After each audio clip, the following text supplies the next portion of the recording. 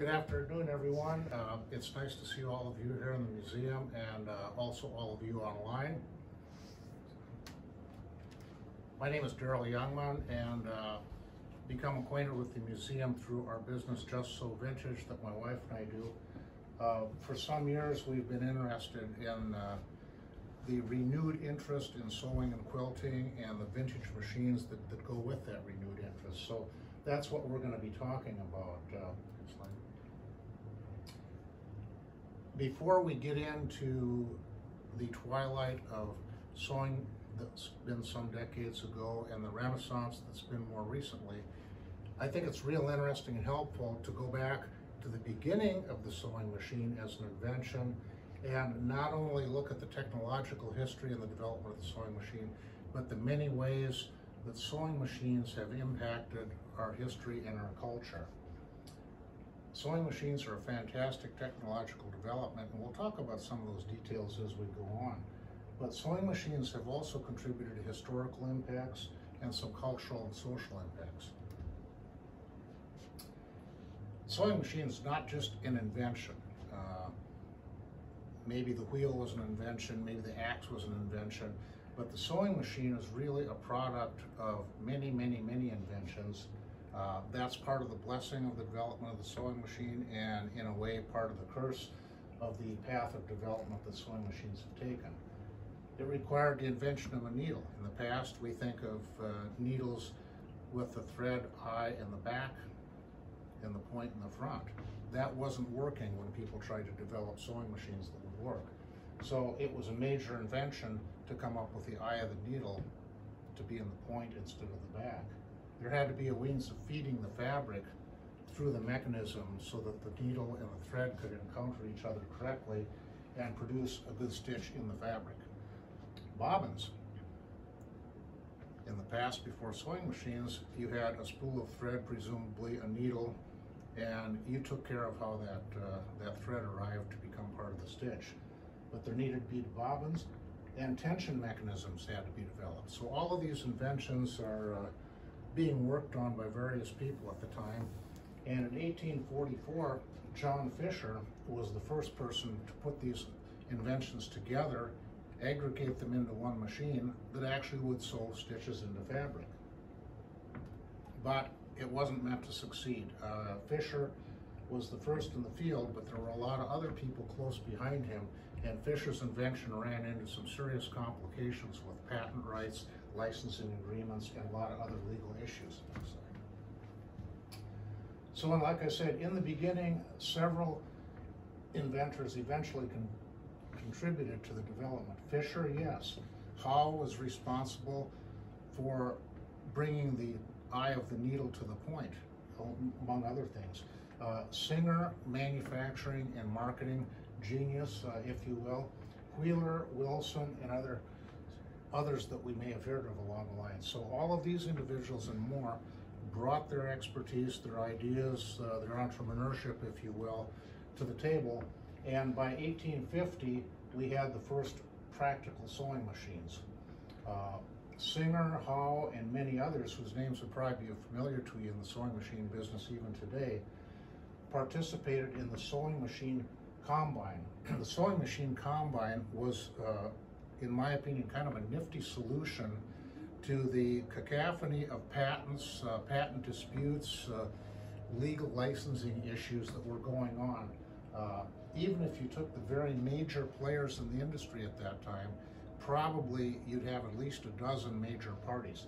Uh, what the sewing machine combine did was sit around the table, probably literally at that time because they didn't have virtual meetings, and iron out their differences and say, okay, you know, you've got the patent on the needle, you've got the patent on the feed, I've got the patent on the bobbin, but there's enough demand out there where we can all make money building our own sewing machines and selling to anxious customers. So they settled uh, many uh, legal disputes around the table and they agreed on a joint aggregate licensing fee, privilege fee, whatever, that would allow all these manufacturers to take advantage of all the different patents and then go about with a marketing and a service structure that would bring these machines to the customer and maintain them after the point of sale. that was in the eighteen sixties, early eighteen sixties, and it worked well until some of these patents, uh, it started expiring approximately nineteen eighty. And, and after that, the field was leveled out. By nineteen hundred, over twenty million sewing machines a year were being produced in numerous factories. Uh, and I don't know what the population of the world was at that time, but twenty million is a lot of units of anything. So this is an industry in fifty years that rose from infancy, went through some, uh, some growth pains and came out very successfully by the dawn of the twentieth century. Next slide. This is a slide here. Uh, I'm not going to read the fine print to you, but this is a nice summary of uh, some of the goings on in the earliest years of the development of the sewing machine between the first early inventions and the sewing machine combination. Uh, this is going to be available to those of you who are here in the audience today in person, and I think we can make it available to our remote virtual users too.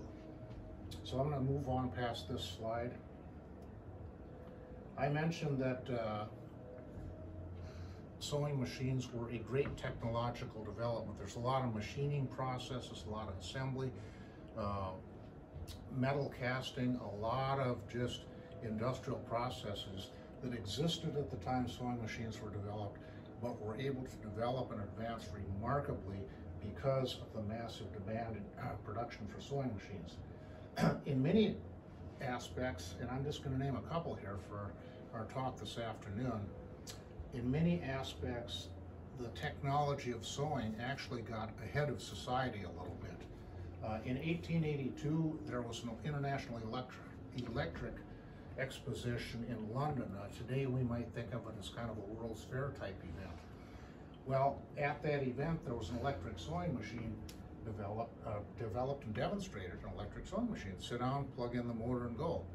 Except in 1882, vast, vast percentages of the population didn't have electricity. So, sewing machine industry got its ducks in a row with the sewing machine combine and other initiatives. They went into mass production, but the world really wasn't ready for electric sewing machines yet. Another example of sewing technology leading society is the zigzag.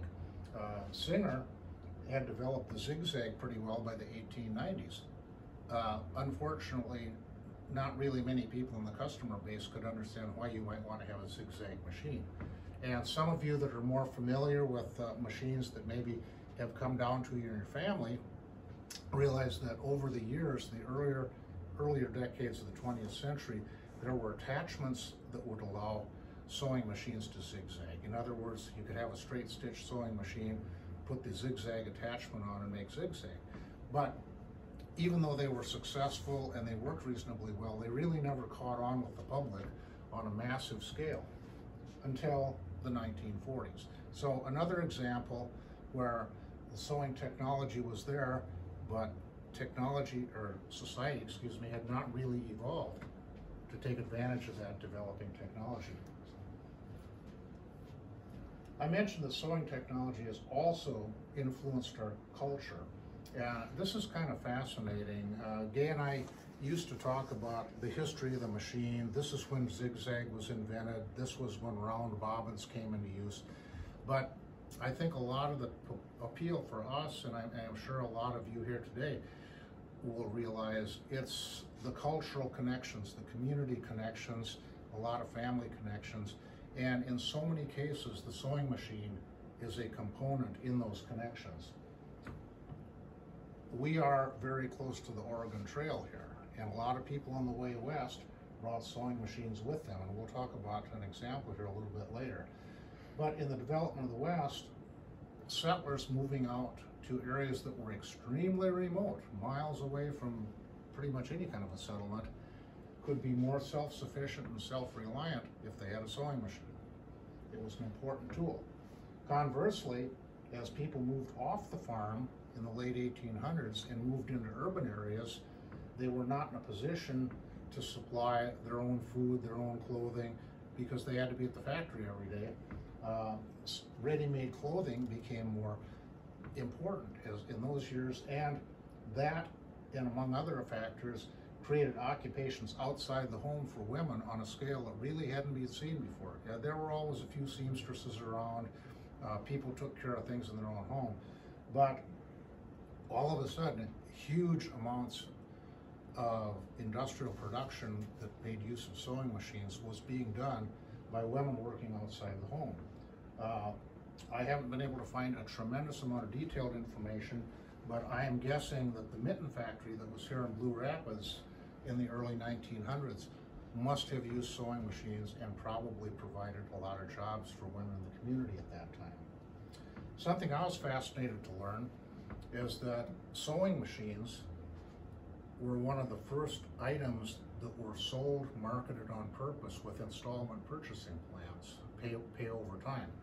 Uh, you can do the inflation adjustment formulas and uh, compare it to modern sewing machines, but the numbers are such that we may uh, have sticker shock when we look at a modern sewing machine that costs X number of thousands of dollars today. But people in the early years of sewing machines, uh, actually well into the 20th century, these were incredibly expensive investments. Uh, today we talk about, well, maybe an automobile is the second biggest investment next to your house. Uh, in this period, the sewing machine was probably in that category. They were incredibly expensive. Uh, months and months and months of a family income would be represented in the price of a sewing machine. So, installment purchasing on a large scale first came to the fore in the marketing of sewing machines. And, and look where installment for purchasing, credit cards, etc., is today.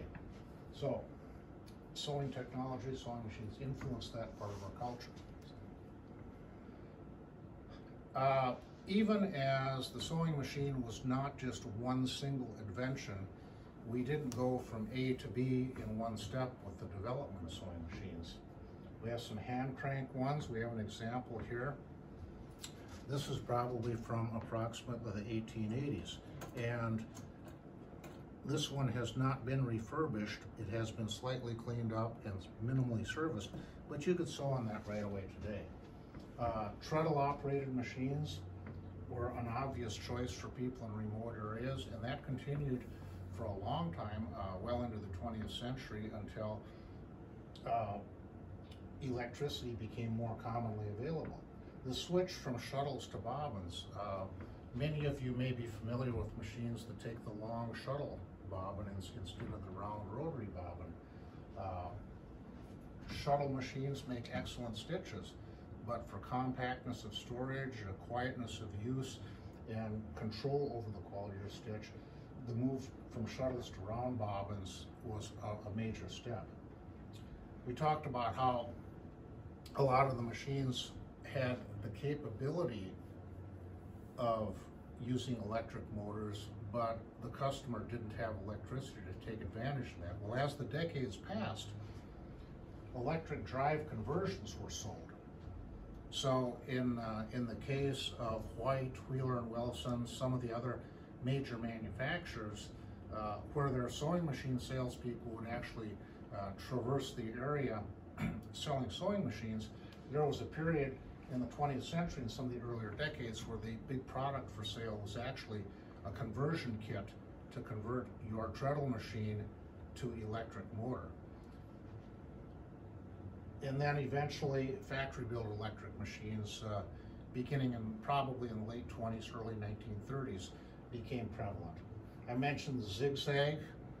It was available, but it wasn't really mass market accepted until the 1940s. And then special stitches that a lot of us are familiar today with on our, on our modern machines. So we have a mechanical device that's gone through a lot of development, a lot of growing pains, and a lot of modernization over many, many decades. But the story really isn't about a machine.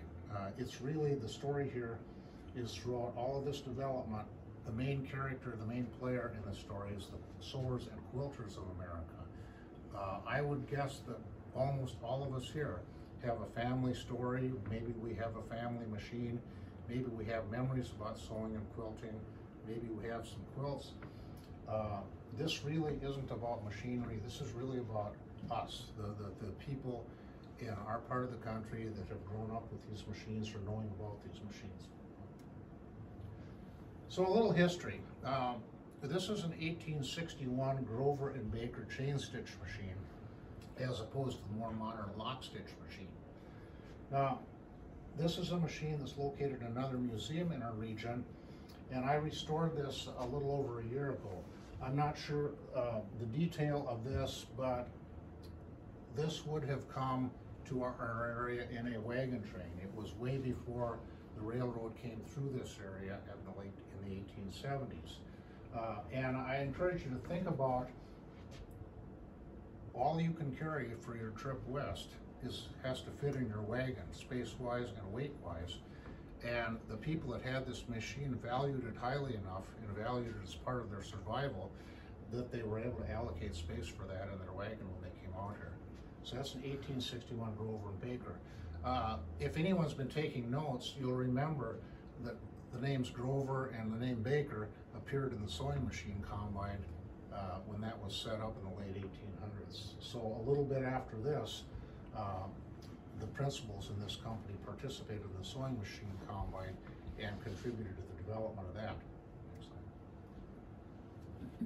Well, by the 1880s, uh, sewing machines were beginning to look uh, a little bit like what a lot of us are familiar with uh, from our ancestors or from machines that have been handed down in our, in our family. Uh, this is another machine. It's made by the, the White Sewing Machine Company in the 1880s.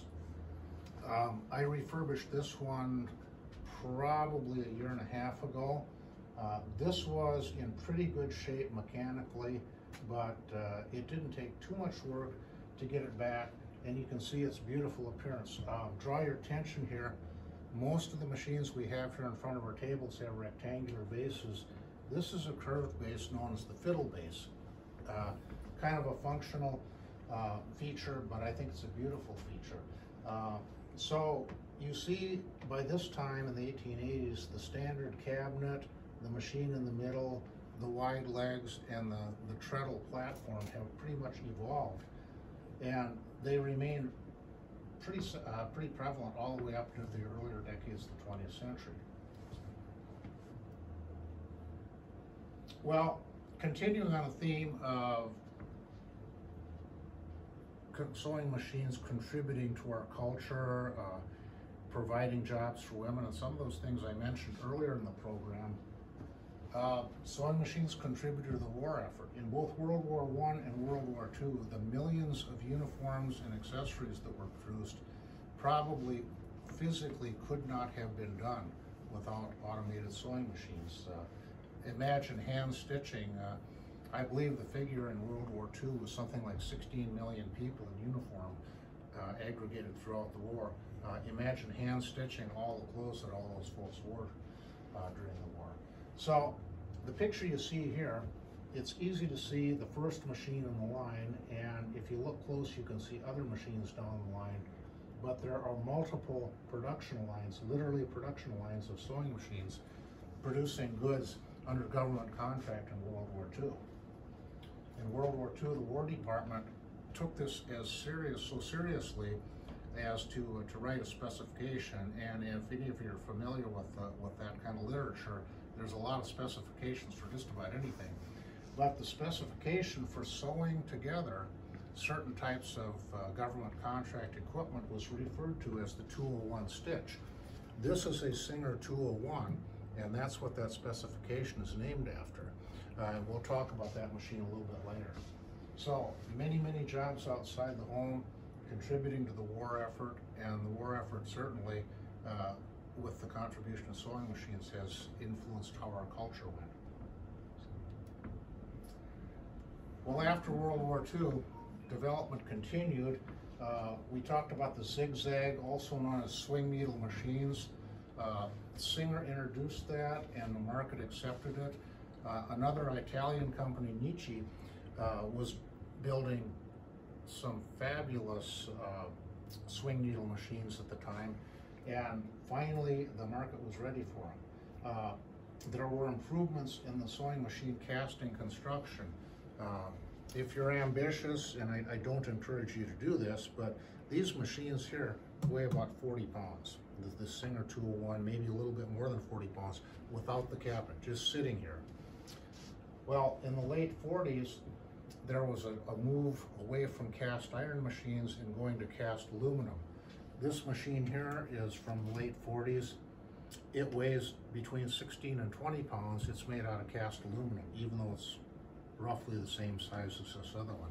That was a major innovation. In fact, prior to World War II, uh, there was experiments in casting aluminum that were not very productive. Uh, but in the spirit of recycling, with thousands and thousands of aluminum-based aircraft coming back from World War II that weren't gonna be needed in the future, there was a lot of impetus for the aluminum industry to really get to, up to the table, do some research, and they did figure out how to successfully cast aluminum, and the sewing machine industry benefited. Slant shank machines were an innovation that came after World War II. You see that with this machine and this machine here. And we'll talk about uh, those in a little more detail in a minute. Well, after a very successful uh, hundred or so years of sewing, sewing machines in America kind of reached a twilight.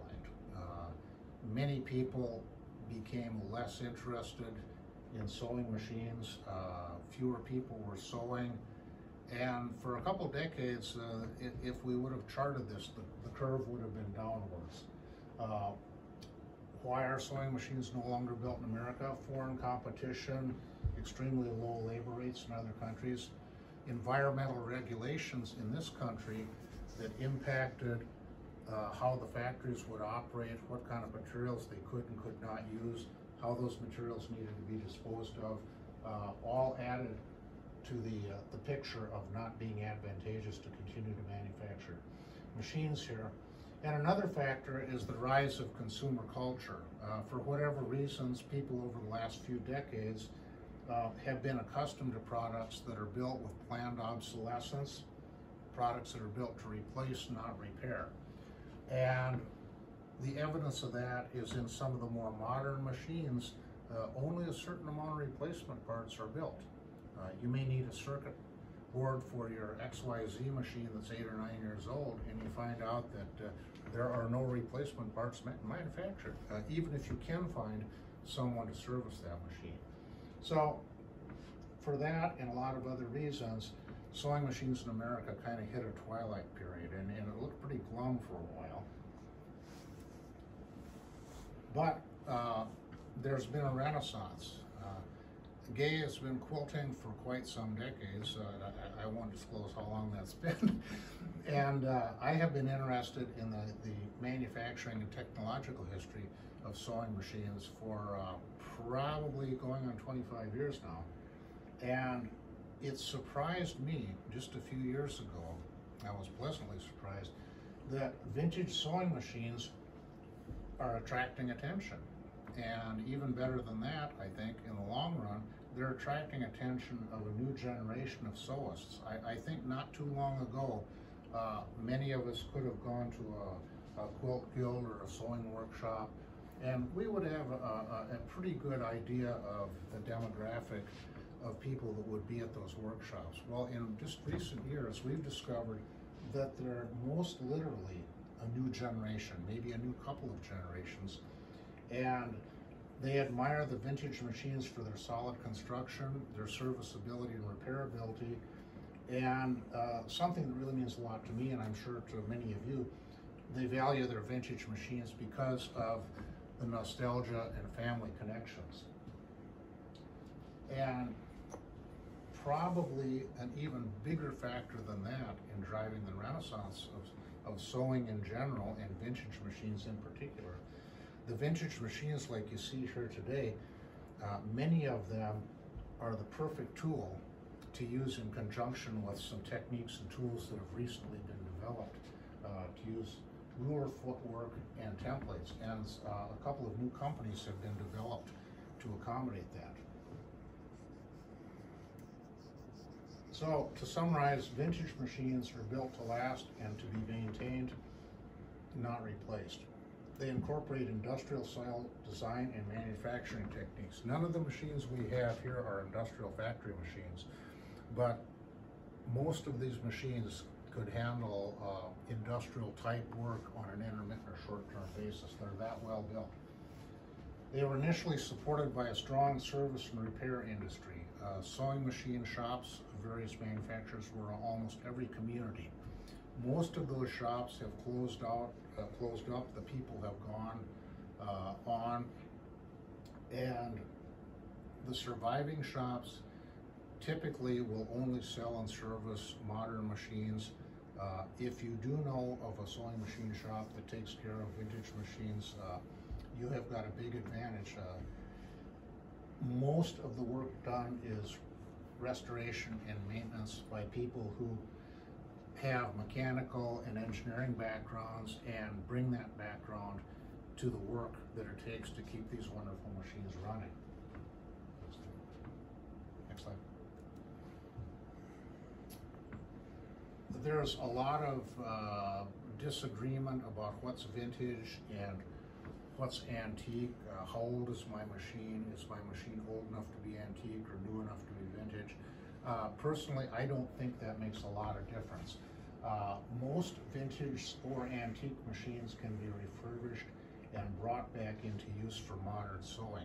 Um, the 1861 machine that I showed you earlier in the presentation is perfectly capable of sewing right now after refurbishment. The only reason that the museum there doesn't do that is there is one particular spring in there that we believe is irreplaceable if it ever would break. Uh, but that shows you how far back you can go with, with proper maintenance and proper care and get these machines back into sewing condition. If you really want to get in to coupling your vintage machine with ruler work and some of these other modern techniques for sewing and quilting, uh, there are some uh, stars that I call from the, the vintage period that are particularly well suited. Those of you that are interested in free motion quilting, uh, if you can do free motion quilting and treadle at the same time, you're way ahead of me skill-wise. But uh, there are machines that can be adapted and, and work very well with that.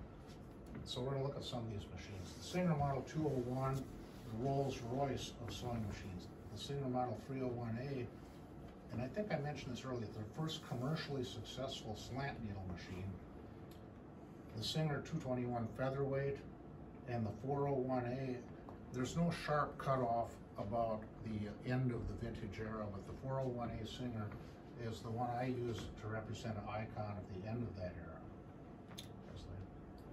So here we go. The Singer Model 201 has been referred to as the Rolls-Royce of sewing machines. In fact, uh, this was the machine of choice when Rolls-Royce began to uh, introduce leather seating into their automobiles. It has a direct drive motor. There's no belts. The motor's in back here. It's engaged directly into a gear train that runs in the upper arm and underneath. And these are strong, they're quiet, and if they're well maintained, they probably literally will keep sewing forever. The Singer 221 was built from the 1930s into the early 60s, and over 3 million of them were built at the time. Now, why the term featherweight? This weighs 11 pounds, including the case that it comes in. This weighs over 40 pounds. So if you're gonna go to a sewing workshop, a quilt workshop, any event like that, this is probably the one you wanna carry, not the 40 pounder. Um, you can see in the picture here, factory furnished case, and uh, I like this reference. This is not my phrase, but I, I, I, noticed this in my reading at one point. The darling of modern day quilters of a new generation. And in the last couple years, Gay and I have become acquainted with a number of people that really fit that, uh, that demographic description. So that's the Featherweight 221. Next slide. The Singer Model 301A, introduced in the very end of the 1940s, this also is much lighter than the previous cast iron machines. It has a neat little handle, it flips up, and easily portable. Uh, This was the first Singer model that was offered in a color other than black. And if you look at the machines we have in front of us and look at some of the museum machines behind you, it's kind of a refreshing break, I think, to see a, a sewing machine in a color other than black, even as beautiful as they are. But this is the first one. Uh, this obviously is a black one, but they eventually came in a couple of different uh, uh, two-tone colors. The handle I showed you for portable use, and for people that like the slant machines, one advantage is the improved visibility of the needle where it actually engages the fabric.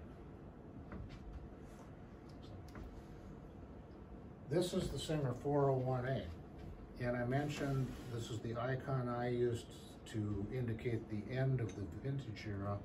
You can select a lot of special stitches here, and you can also put in a variety of cams on top here to make even more special stitches. So this machine does straight stitch, it zigzags, there's more special stitches here and optional special stitches here.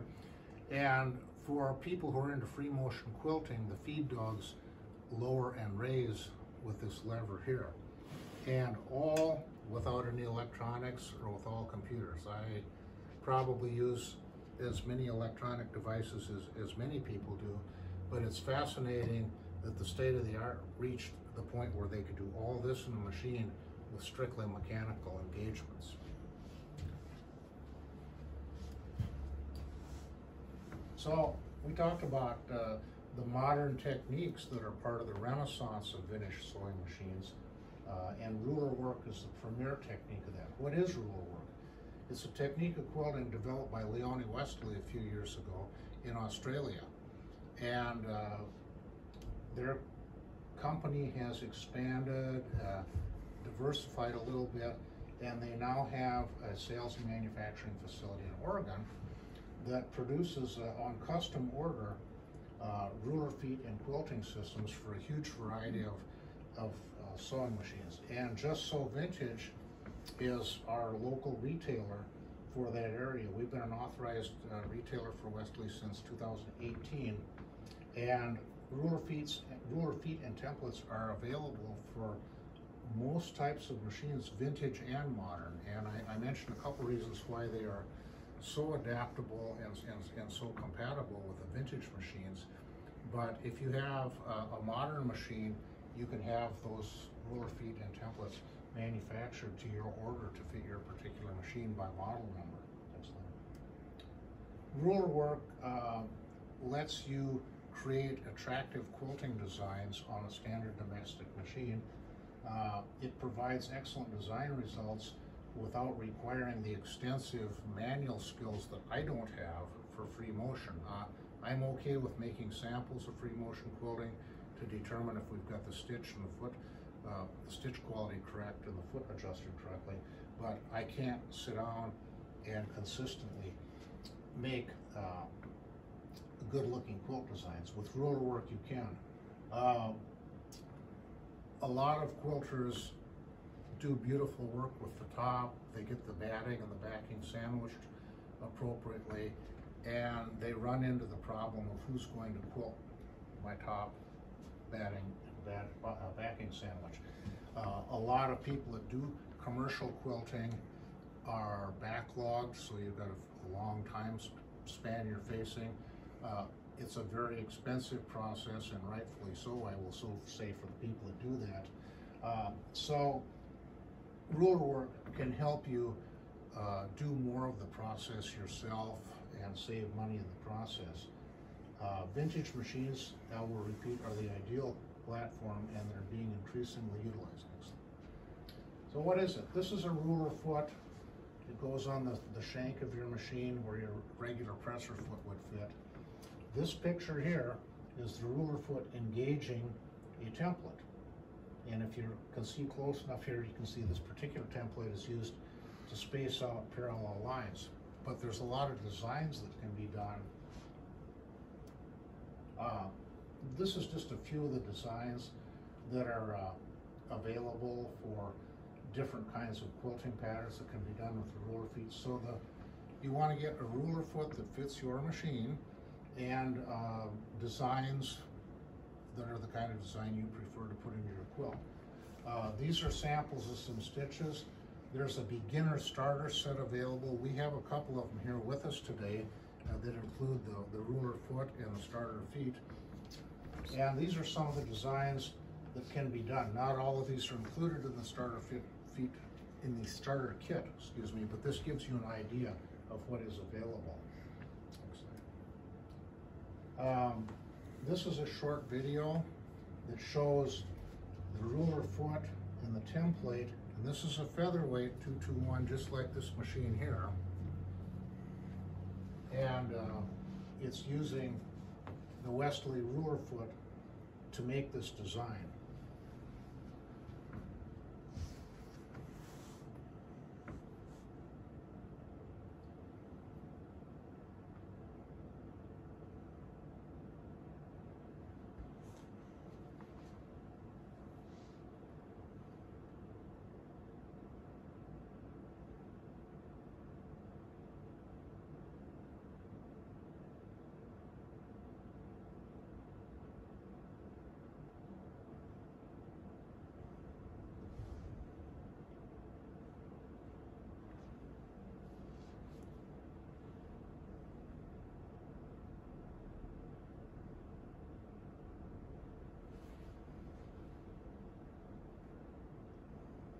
Well, that's a real quick peek at uh, what ruler feet work is uh, and some of the accessories that come with that. It's not the intent of this program here today to go into detail about the mechanics and the use of these.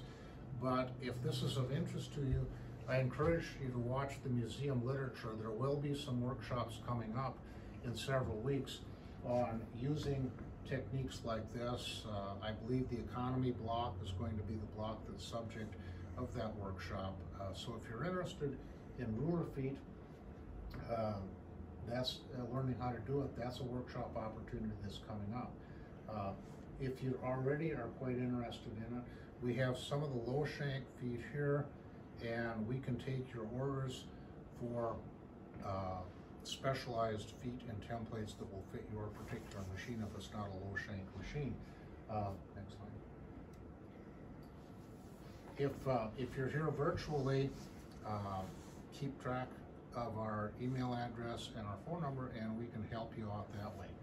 Uh, so to include, conclude here, uh, sewing machines have been part of the history of our culture since their development in the 1850s. And during that 150 years, they've influenced our cultural heritage many years, and we continue today to, to feel the, the impact of that heritage new developments like ruler foot techniques with vintage machines, uh, I think are going to contribute to the renaissance and keep that renaissance of vintage machines moving and growing as we move farther into the future. So, thank you very much. Uh, that's what I have to say for Just Sew Vintage today. Uh, as I mentioned, we are a retailer for Westalee products. Uh, we restore and sell vintage sewing machines. So if, if you need a refurbishment or a repair, uh, contact us. If you don't have a vintage machine and you think you might like it, like one, maybe we can help you out. So thanks a lot, everyone.